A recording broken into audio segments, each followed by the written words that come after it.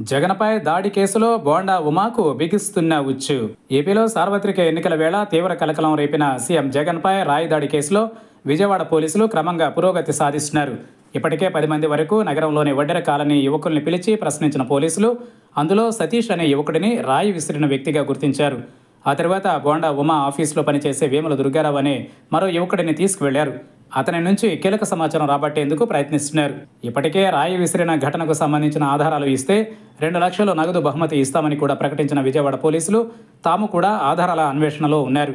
రాయి ఘటనకు సంబంధించిన సీసీటీవీ ఫుటేజ్ దొరక్కపోవడంతో స్థానికంగా ఉన్న యువకుల్ని అదుపులోకి తీసుకుని విచారిస్తున్నారు. ఇదే క్రమంలో వారికి సెంట్రల్ మాజీ ఎమ్మెల్యే బోండా ఉమాకు ఉన్న సంబంధాలను కూడా తెలుసుకునేందుకు ప్రయత్నిస్తున్నారు. దీంతో బోండా ఉమ కూడా అలర్ట్ అయ్యారు. తనకు సీఎం జగన్పై రాయి దాడి ఘటనకు ఎలాంటి సంబంధం లేకపోయినా కొందరు పోలీసు అధికారులు తనను ఇరికించేందుకు ప్రయత్నిస్తున్నారని ఆరోపించారు. ఇందులో భాగంగా తన ఆఫీసులో పనిచేసే దుర్గారావు అనే వ్యక్తిని అదుపులోకి తీసుకున్నారన్నారు. దుర్గారావు తనకు ప్రతిరోజు ఫోన్ చేసి కార్యక్రమాల షెడ్యూల్ చెబుతారని కావాలంటే ఈ విషయం ఫోన్ రికార్డుల ద్వారా చూసుకోవచ్చునని అన్నారు. అన్యాయంగా తనను ఇరికిస్తే మాత్రం జూన్ నాలుగు తర్వాత ఎవరినీ వదిలిపెట్టే ప్రసక్తే లేదని అన్నారు.